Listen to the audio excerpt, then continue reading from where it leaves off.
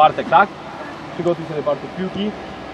30 sekund panowie to jest naprawdę mało czasu, to jest pod presją, ale staramy się dokładnie oddawać strzały. Rozpoczęliśmy testy do, do, do szkoły sportowej, do nowej klasy sportowej. E, typowo piłkarskie, dzisiaj e, na czterech stanowiskach z przyjęciem kierunkowym, ze strzałem na bramkę, z prowadzeniem piłki. To, to, to wszystko pod kontrolą e, trenerów. E, natomiast w jutrzejszym dniu e, forma motoryczna, czyli testy szybkościowe i, i raz test. Zakończymy to wszystko grą. Staramy się używać prawa, lewa noga. To jest rocznik 2005-2006. E, 12 chłopaków e, już z naszego klubu. Łącznie to jest grupa 23 zawodników. Mieliśmy tutaj zawodników z Iskry Pszczyna, mieliśmy tutaj z Podlesianki. Także z tych okolicznych klubów też mamy, z Bierunia między innymi.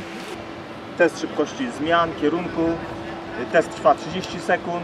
Prowadzicie piłkę od linii pachołka pierwszego rzędu do drugiego rzędu. Piłka musi, bo teraz pójdziecie w tamtym kierunku, musi przekroczyć linię pachołków. Natomiast Wy możecie być jeszcze w tej, w tej strefie pola. No i wynik jest jak największa ilość przebiegnięć czasie 30 sekund. Gotów? Hop.